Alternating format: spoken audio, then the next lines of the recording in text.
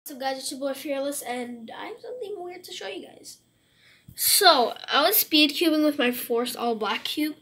It's just a regular 3 by 3 like this one.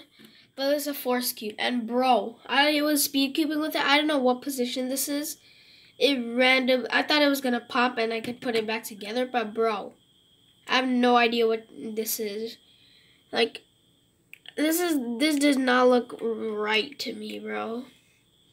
Like is this like normal? Like I think so I think this piece accidentally got stuck here because this corner doesn't have a piece. So I think it got stuck up here, but I have no freaking idea how that freaking happened. Like, bro, look at this position. How, what kind of freaking position is that? Like, all right, I'm gonna put this cube back uh, together, and love you guys so much.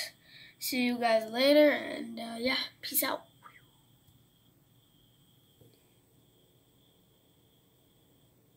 Dude, stop, bro. Bro, it's not. It's not stop.